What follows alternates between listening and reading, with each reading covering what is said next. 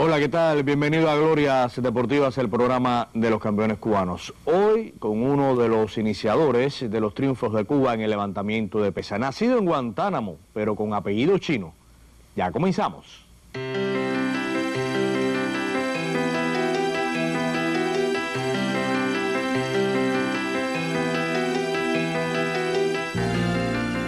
En Glorias Deportivas le estamos dando la bienvenida a Rolando Chan. Qué gusto que nos acompañe, amigo mío. El gusto es mío. Óigame, bueno, decía en la presentación de apellido chino, lo ha acompañado usted pues en la herencia china durante su vida. ¿Cómo ha influenciado en su carrera eh, como profesional del deporte, en su personalidad? Bueno, mi padre era inmigrante chino, o sea, él llegó aquí a principios del siglo pasado, se estableció y, bueno, la descendencia. ¿Qué te atrajo de las pesas? ¿Cómo iniciaste en este deporte? Bueno, yo vine iniciando en las pesas precisamente. Como todos los cubanos, comencé en el béisbol. Luego después en la secundaria, básquet, atletismo. Y por último, las pesas. ¿Por qué? qué? ¿Qué te enamoró de las pesas? El gimnasio quedaba cerca de mi casa. Y además mis hermanos mayores, dos de mis hermanos mayores, eh, practicaban pesas. Y yo iba a verlo y me embullé. Pero tengo entendido que en un inicio te decían que tu somatotipo no era el ideal para el levantamiento de pesas. No, eso siempre me lo dijeron.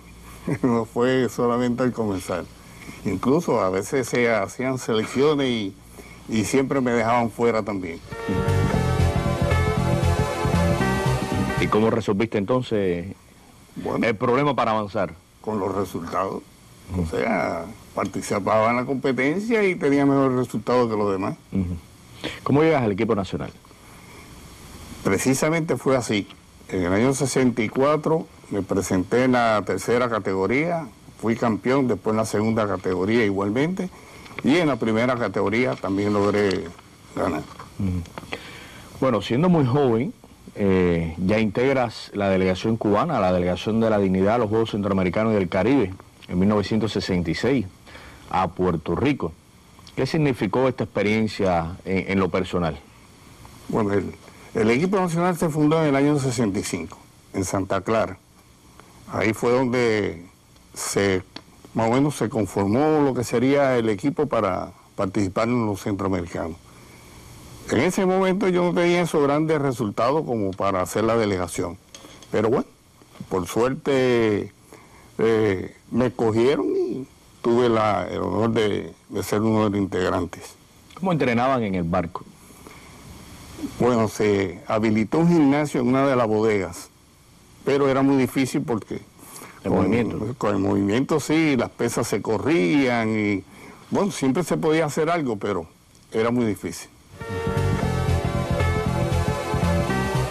Bueno, ya en la competencia los resultados quizás no fueron los esperados por ti, pero tengo por acá una nota que dice que un niño puertorriqueño te hizo un comentario que, que te alegró la vida, te hizo cambiar de parecer.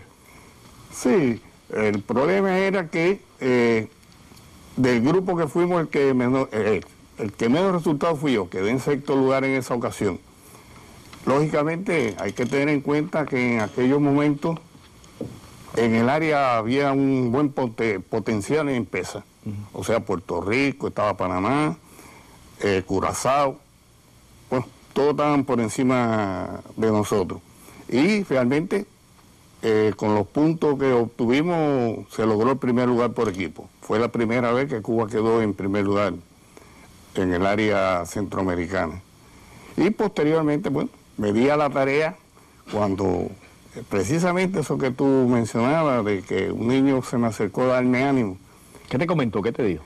Él me dijo, no, no, no importa, en la próxima tú eh, serás el campeón. Y realmente fue así. Pues todo lo que me vencieron en esa ocasión, a todos les fui ganando posteriormente en distintas competencias. Solamente uno no pude porque subió de división y no pude competir ¿Y más. con él. con qué pronóstico ibas a estos Juegos Centroamericanos? ¿Qué, qué llevabas en mente? No, yo sí no llevaba pronóstico ninguno. Porque realmente conocía a mis rivales y sabía que todos estaban por encima de mí. Por eso eh, fue una experiencia y de ahí tomé lo mejor y Claro. y lo que sí me propuse es tratar de en la próxima ser estar dentro de los primeros. Bueno, ¿y este, ¿y este niño por qué se acerca a ti? Eh, diría yo, entre tantos levantadores de tantos países, ¿fue algo casual o, o, era simpatizante de la delegación cubana? ¿Te seguía a ti en lo específico? Mira, es curioso porque uno ve el documental de, del Cerro Pelado y realmente fue así. O sea, cuando llegamos allí, era la incógnita. ¿Qué son los cubanos? Siempre el mito ese. Antes, bueno, los comunistas eran cosas raras, feas, y todo el mundo iba, se acercaba a ver a los cubanos, pero cuando vieron que éramos parecidos a los demás, incluso a veces hasta con mejor porte que otros, eh, se mostraban de una forma diferente. No el pueblo puertorriqueño. Allí lo que mayor formaban eh, dificultades eran los lo que habían abandonado el país, o sea, cubanos que eran residentes ahí en, en Puerto Rico, que era desde que uno se montaba una guagua para ir para el entrenamiento, para la competencia, era diciendo horrores. Eso era en todos los lugares. Igualmente en la competencia, que si éramos unos muertos de hambre, que si éramos comunistas, como si eso fuera una ofensa. Pero nosotros nos sobrepusimos y en definitiva ganamos. Bueno, momento para conocer los principales resultados deportivos de nuestro invitado.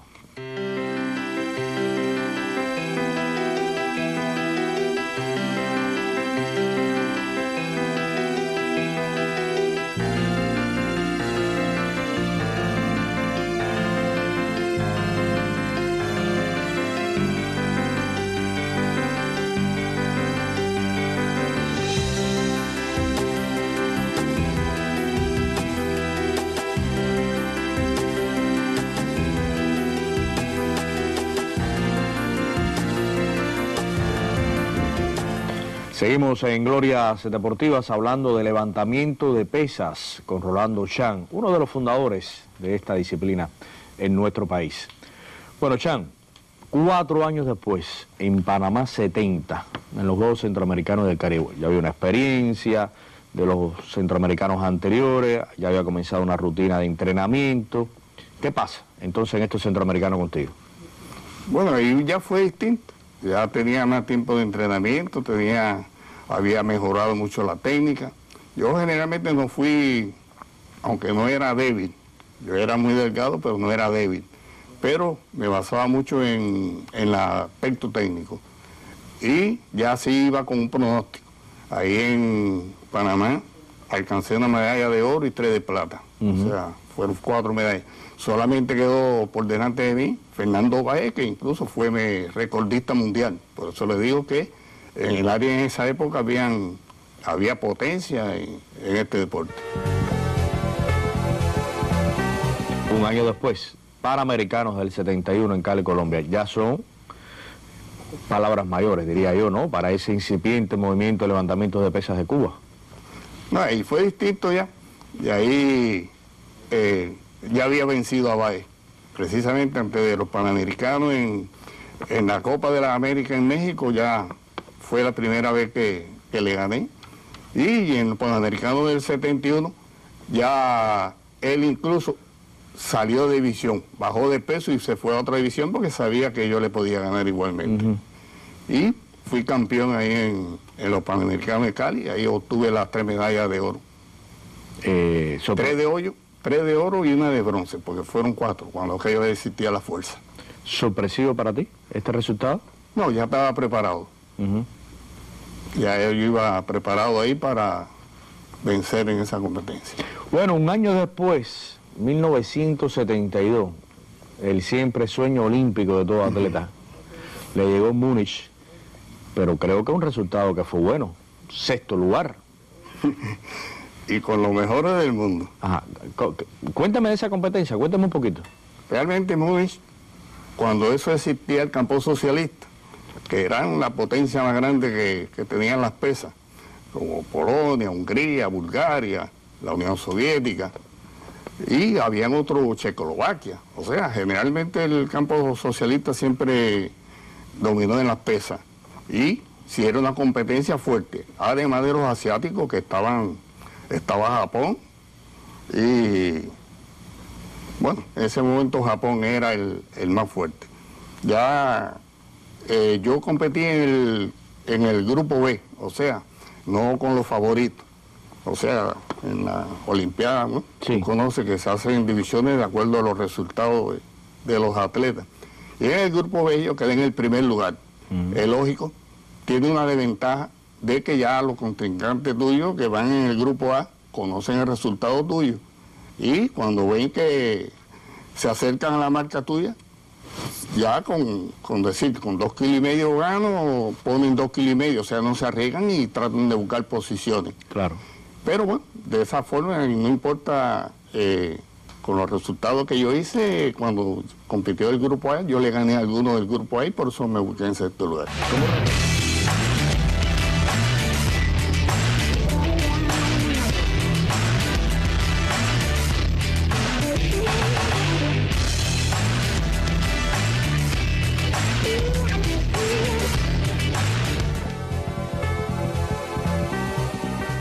repercutió esto en, Cuba?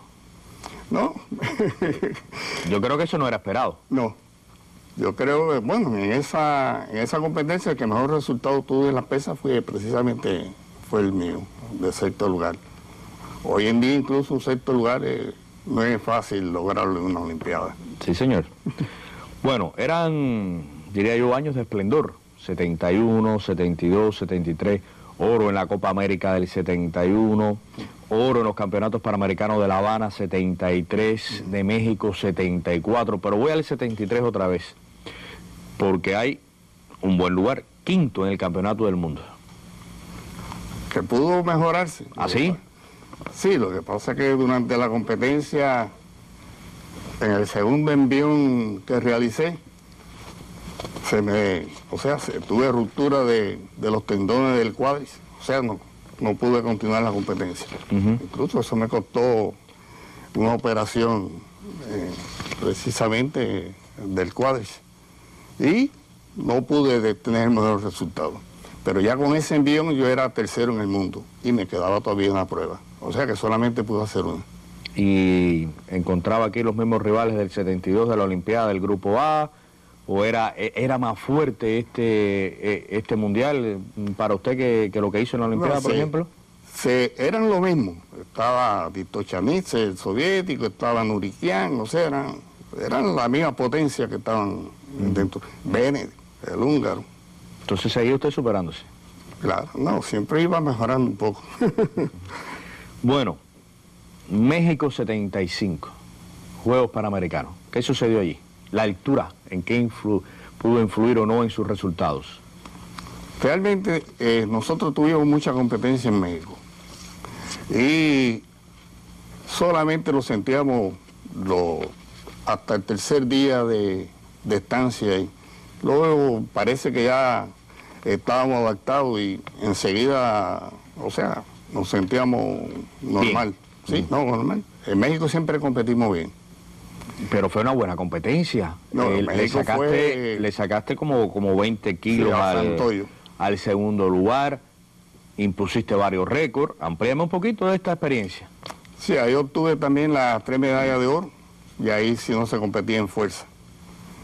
Y establecí récord en arranque y, en total. El de envión no lo pude romper, que era de un norteamericano, de Isaac Berger.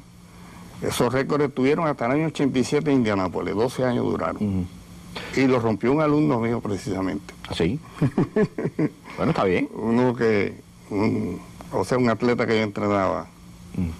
Has mencionado varias veces eh, competencia de fuerza en el levantamiento de pesas. me gustaría hacer un paréntesis así para que explicaras un poquito, porque eh, ya hace, bueno, ya lo decías, desde hace muchos años lo que se conoce es el, arranque, el envión, el total. Yo creo que muchos jóvenes que hoy mismo están viendo el programa no conocen qué cosa era la competencia de fuerza en, el levantamiento de pesa, en qué consistía, cómo se medía.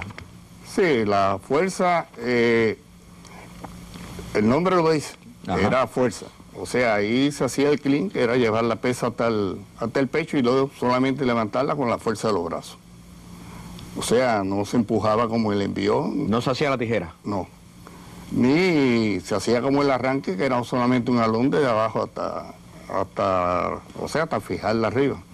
O sea, que había que hacer el clean, o sea, llevarla al pecho y luego después con los brazos eh, levantarlo. La pesa, la fuerza tuvo muchas dificultades, porque empezaron a introducirse muchos estilos para hacerlo. Y eso causaba... Eh, Diferencias. Sí, sobre todo con los árbitros. Ya era mucha apreciación. Y habían árbitros que te calificaban de una forma, otro de otra, y trajo muchas dificultades. Y para mí no fueron las lesiones, sino ya el arbitraje lo que determinó que se eliminara, que se hizo precisamente en Múnich, en el año 72.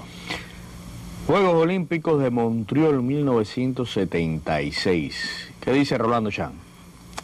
Bueno, yo debí participar, pero realmente me retiré antes y, decidí, o sea, yo planteé que llevaran otro atleta, pues realmente yo no me sentía en condiciones para, para hacer la preparación para la Olimpiada. Pero después de una competencia tan buena en México 75, apenas un año, menos de un año de diferencia. No en México, Precisamente ese mismo año se celebró el, primer torneo internacional de pesa que fue en Camagüey. Y ahí establecí las tres marcas nacionales. Y después pedí mi retiro. Eso dos o tres meses antes de la Olimpiada. Óigame, pero eso está un poco, está un poco contradictorio. Había que sentirlo por dentro. Yo llegaba a mi casa y era... Yo llegaba a gatas. Yo vivo en un quinto piso, un edificio de cinco plantas y cuando llegaba me tiraba en el piso y era bolsa de hielo por todos lados. Ya, ya no soportaba más. ¿No podía llegar dos meses nada más para la Olimpiada? lo hubiera hecho, pero... Claro. Además, muchas lesiones, no solamente eso. O sea, yo he pasado ¿No trabajaban los psicólogos contigo? Psicólogos, hay una psicología que valga. ¿Y qué hubiera pasado en el, en el 76 con, los resultados que estabas obteniendo? Porque me dices que deja de competir dos meses antes, es decir, que estaban muy frescos los resultados a nivel yo competí en esa ocasión en los 56 kilogramos. Después subí, después que me restablecí, subí para los 60 kilos, o sea, por decisión de, de los médicos y igualmente de la Comisión Nacional. comencé a a, entrenar en los 60 kilos. Y, pero ya cuando eh, Montreal era, distinto ya. ¿Estabas en 60 todavía? ¿Eh? En 60 kilos. Ya había competido en 67 y medio, pero una sola vez nada más.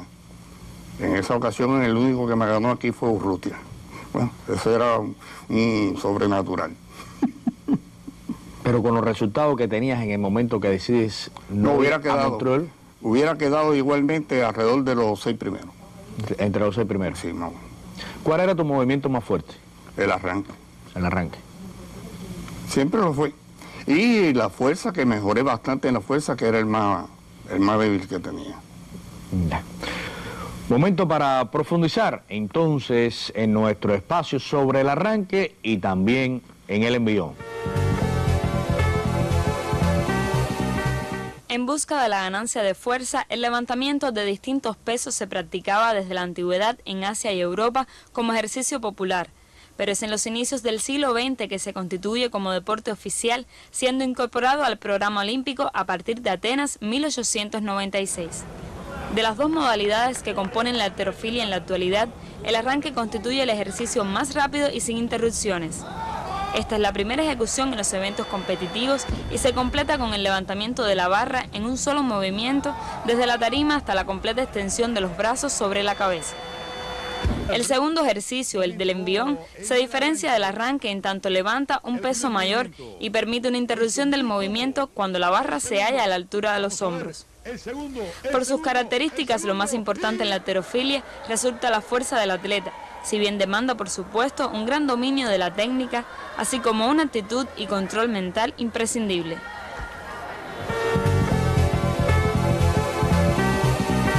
Continuamos en Glorias Deportivas, gracias por la sintonía, levantamiento de pesas con Rolando Chan, ya sobre el cierre de nuestro espacio. Bueno, te retiras y llega otro momento, diría yo, de gloria en tu carrera, ahora como entrenador, 40 años eh, dedicado al mundo del entrenamiento y con muchísimos resultados. ¿Cuál es el librito?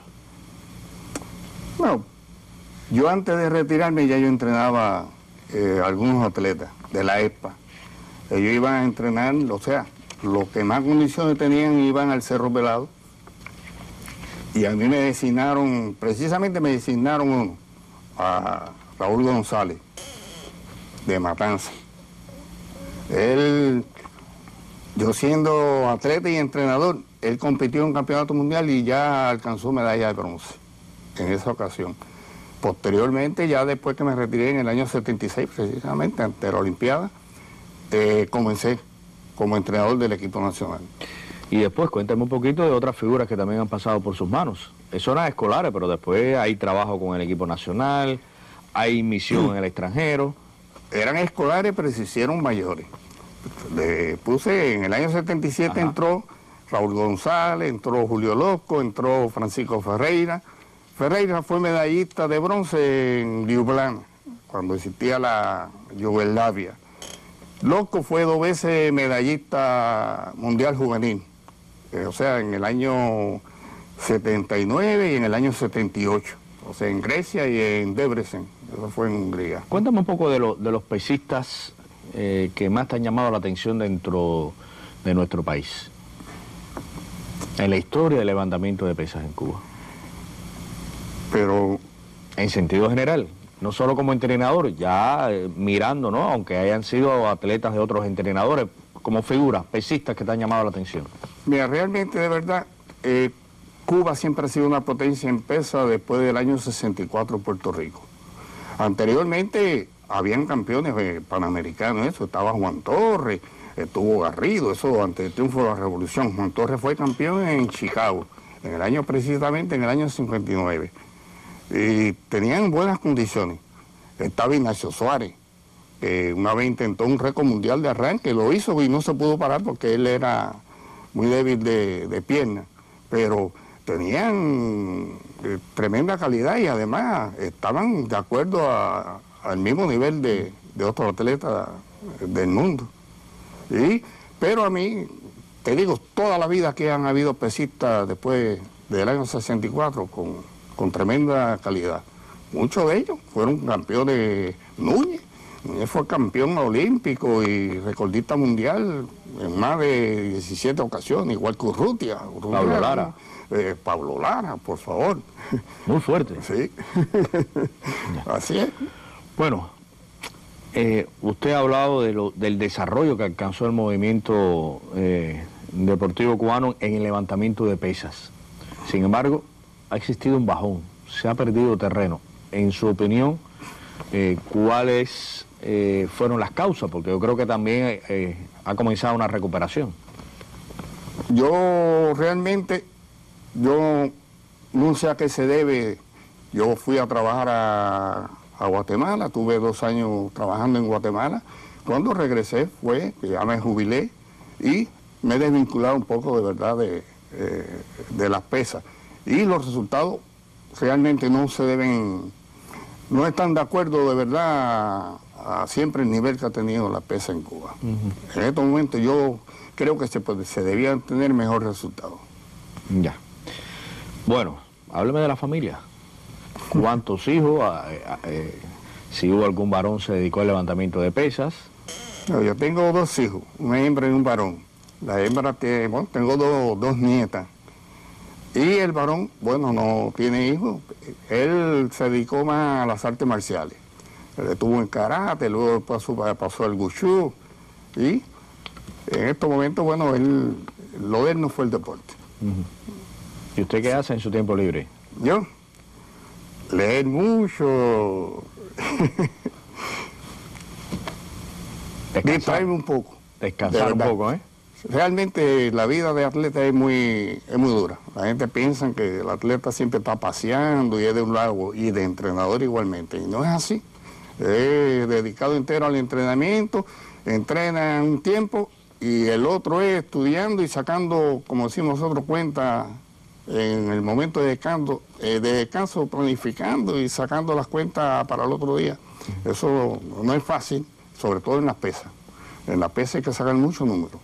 Eso son miles o millones de, operaciones que está realizando en, en un plan de entrenamiento. Bueno, en el cierre, un consejo para aquellos pesistas que son jóvenes, que comienzan, eh, para los entrenadores también, que de alguna manera pues necesitan de su experiencia, de, un consejo que le ayude. Mira, yo todo, yo siempre lo digo, la voluntad es todo. Y hay unas palabras que dijo Fidel hace mucho tiempo, que dijo que no hay que ser ni desleal ni malagradecido. Yo creo que el atleta y el entrenador tienen que meterse eso en la cabeza. Hay que ser agradecido y hay que ser leal, en todos los sentidos, no solamente en el asunto del deporte, sino en sentido general. Ok. Amigo mío, qué gusto me da que nos haya acompañado pues en, en este espacio de hoy. Eh, lo felicito porque tuvo una brillante vida como atleta en un comienzo difícil. Prácticamente no existía el levantamiento de pesas en Cuba. Fue usted uno de, de- de sus fundadores de la nueva era del levantamiento de pesas en nuestro país y con resultados internacionales. Se me olvidaba el nombre nada más, antes de terminar. Jordani Borrero. Si no lo digo aquí, yo creo que él me mata, porque él, él me dice que yo soy su padre. Un talento, un talento de levantamiento. Fue Más que un talento, una realidad veces del levantamiento de pesas. panamericano, Ujú. en Dominicana y en Río de Janeiro. Ya. Bueno, pues le decía que lo felicito por su brillante vida deportiva, muy brillante vida como entrenador, que hablamos muy rápido, pero imagínese usted 40 años como entrenador, cosechando éxitos en Cuba y fuera de Cuba, porque en Guatemala también obtuvo excelentes resultados en, en el levantamiento de pesas. Y nada, espero que siempre puedan contar con usted para un consejo, ¿eh? Reorganizar un entrenamiento, visitar al equipo nacional, corregir algo. Yo estoy dispuesto a todo. Está bien, muchísimas gracias. Ya, gracias a mí. Punto final a nuestra emisión. Muchísimas gracias por la sintonía. La invitación queda abierta para la próxima semana en un horario y día similar para seguir conociendo de la vida de un campeón cubano. Hasta entonces.